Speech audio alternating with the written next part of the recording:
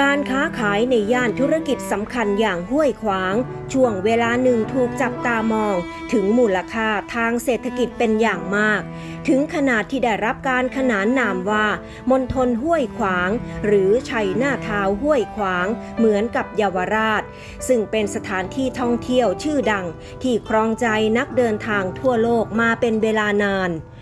ห้วยขวางมีจุดเด่นที่แตกต่างเหมือนที่ดึงดูดนักท่องเที่ยว เช่น ตลาดกลางคืนที่ขายสินค้ากันถึงสว่าง หรือเทวาลัยพระพิคเนตที่มีนักท่องเที่ยวสายมูเตลู มาขอพรกันอย่างล้นหลาม เรียกได้ว่าเป็นอีกแหล่งที่มีสเสน่ห์ไม่แพ้ที่อื่น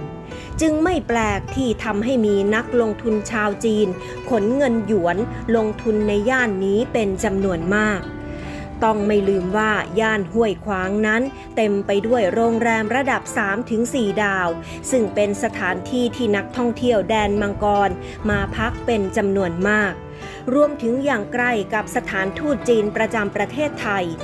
และก็ต้องไม่ลืมว่านักท่องเที่ยวจีนส่วนใหญ่ ไม่พูดภาษาอื่น นอกจากภาษาถิ่นตัวเอง ทำให้เป็นช่องทางที่นักลงทุนชาวจีน จะมาทำธุรกิจเพื่อเปิดร้านอาหาร หรือบริการอื่นๆ เพื่อเอาใจคนบ้านเดียวกัน อันเป็นที่มาของร้านอาหารที่ขึ้นป้าย และมีเมนูเป็นภาษาจีนจำนวนมาก แต่มาเวลานี้สถานการณ์กลับตลปัดอย่างสิ้นเชิง ธุรกิจของคนจีนจำนวนไม่น้อยประกาศปิดตัวลง ดังจะเห็นได้จากประกาศเลิกและเซ้งกิจการของร้านสุกี้ชาบูหมาล่าเจ้าใหญ่ อย่างร้านหมาล่าหอมสดชื่น หม้อไฟชูดู ที่ตั้งในทำเลที่ดีที่สุด ใกล้กับแยกห้วยขวาง สถานีไฟฟ้าใต้ดิน MRT ทางออกหนึ่ง โดยระบุว่า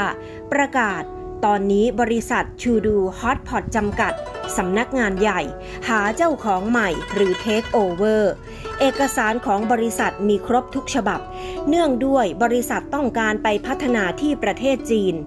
จากนั้นก็เริ่มมีร้านค้าของคนจีนนอกเหนือจากร้านอาหาร เช่น ร้านซูเปอร์มาร์เก็ตจีน ที่ทยอยปิดตัวลงมากกว่า 10 ร้าน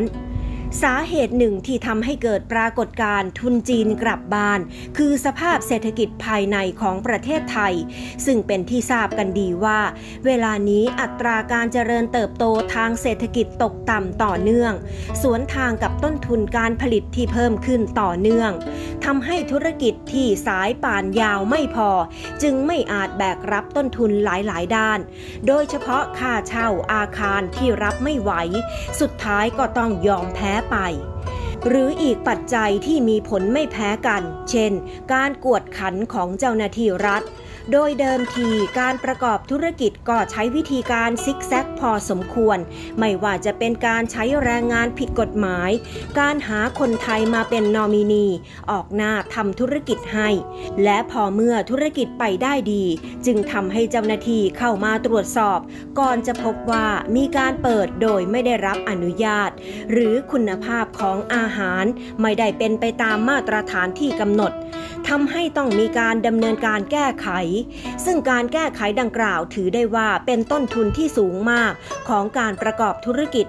อีกทั้งร้านค้าส่วนใหญ่ก็ล้วนเช่าจากเจ้าของอีกทอดหนึ่งดังนั้นการจะให้ทุ่มเงินเพื่อปรับปรุงร้าน อาจไม่ได้สร้างความคุ้มค่าให้กับผู้ประกอบการเท่าใดนัก ด้วยเหตุนี้เองทุนจีนที่พึ่งจะเฟื่องฟูในห้วยขวาง จึงเข้าสู่ขาลงอย่างรวดเร็ว ยิ่งไปกว่านั้นผลกระทบที่เกิดขึ้น อาจมีมาถึงธุรกิจแวดล้อมที่มีส่วนเกี่ยวข้องด้วย อย่างผู้ประกอบการซัพพลายเออร์ที่ส่งวัตถุดิบเข้าร้านอาหารเหล่านี้ ก็ต้องขาดรายได้ไปจำนวนมาก หรือแม้แต่ลูกจ้างคนไทยก็ต้องยอมรับสภาพตกงาน โดยที่ไม่รู้ว่าจะได้รับการเยียวยาจากนายจ้างตามกฎหมายไทยหรือไม่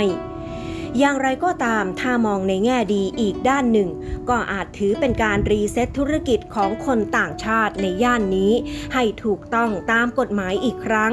เพราะอย่างน้อยภาคการท่องเที่ยวของประเทศไทยกำลังอยู่ในช่วงขาขึ้น และมีนักท่องเที่ยวเข้ามาในประเทศไทยจำนวนมาก แน่นอนว่าย่อมยังเป็นโอกาสในการให้กลุ่มทุน เข้ามาประกอบธุรกิจอย่างถูกต้องตามกฎหมาย ซึ่งจะเป็นการสร้างประโยชน์ในทางเศรษฐกิจระยะยาวต่อไป